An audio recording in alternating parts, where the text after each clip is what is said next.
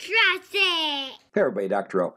In this short video, we're going to talk about primarily peristalsis, which you can see here, and segmentation. So in the intro to this chapter, we talked about uh, propulsion, the movement of material from your mouth towards your anus. That can be broken down into two parts. The voluntary part, which is swallowing, so we'll cover that later. So you're, you're, you're in control of swallowing, or at least the initiation of swallowing. But after that, the movement of material from one organ or structure in your GI tract to the next is going to be, called, is going to be controlled by smooth muscle contraction, and it's called propulsion.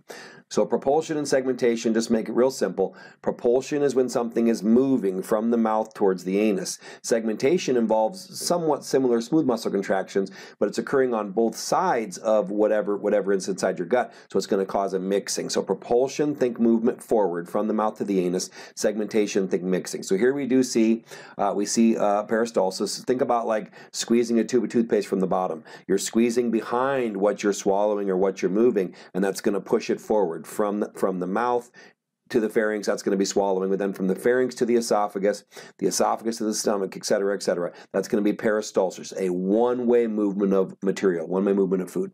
Here we see segmentation. Now we have smooth muscle contractions happening on both sides. Imagine shoving something back and forth, pushing something back and forth. I always think about like when you're mixing ingredients in a mixing bowl. So this churning up process, nothing's moving forward, it's moving forward, but then back, forward, back. So this churning process is it's mixing things up. It is not actually moving something from your small intestine to your large intestine, for example.